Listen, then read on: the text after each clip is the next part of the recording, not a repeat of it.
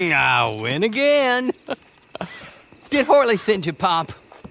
I'm Clay Davies. This is my brother. Clive. He don't talk. Maybe you two will get along better. Maybe not. Listen, I heard you wanted to earn some money. So, there's a gang of ne'er-do-wells. They are a bunch of degenerates, not good people. They're out of Manzanita Post with a bunch of horses they stole from me. well, that's a lie, but they stole them off the fella I was gonna steal them off of. Maybe you could get them for me. You think you could do that for me, Pop? Oh, look. Here are your friends. Well, good. Meet me at the stable in Blackwater once you have the horse flesh. And I'll pay you good. Oh, and Pop, Horley wanted me to remind you any decent work you can find, take it. But just try to stay out of trouble. Oh, and once you give me those horses, well, after that, we'll talk again. Oh, I do so enjoy these conversations. I'm used to 'em on account of my brother. Let's go, Clive.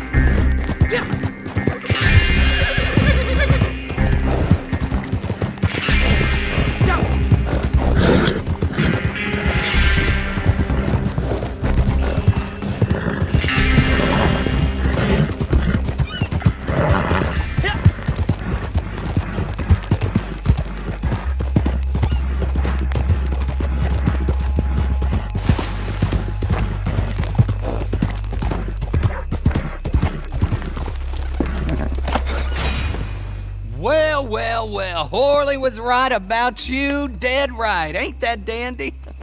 Get that horse hidden away, Clive, and ready to move out as soon as we can. All right. Here's the money you earned. Now listen, Horley came by and gave me a message.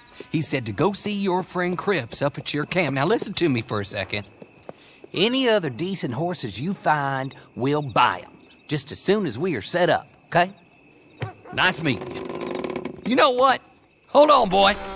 I call him boy because I'm older. 30 minutes, he went black.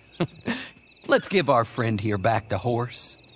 It's yours. A sign of faith and future business. If you want to buy any extras or sundries for the animal, head inside. They've got a lot available. See you soon.